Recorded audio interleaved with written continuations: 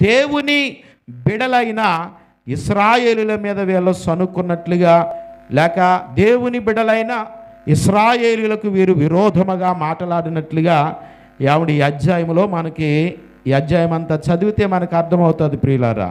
కనుక వీళ్ళు అనుకున్నారు మేము ఇస్రాయేళ్ళ మీద మేము సనుకున్నాం అనుకున్నారు కానీ దేవుడు అంటున్నాడు మీరు నా మీద విస్తారముగా ఆడిన మాటలు నాకు వినబడ్డాయి అని చెబుతూ ఉన్నాడు ప్రియులారా. కనుక ఎవరైతే దేవుని బిడల మీద సనుక్కుంటారో ఎవరైతే దేవుని బిడలకు ఎవడి విరోధముగా మాట్లాడతారో వారు ఎవరికి విరోధంగా మాట్లాడినట్లు?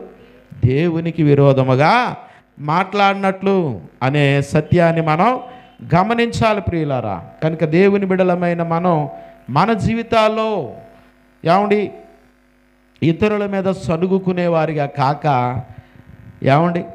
దేవునిని స్తుతించేవారిగా మనం ఉండాలి. దేవునికి స్తోత్రం. Hallelujah hallelujah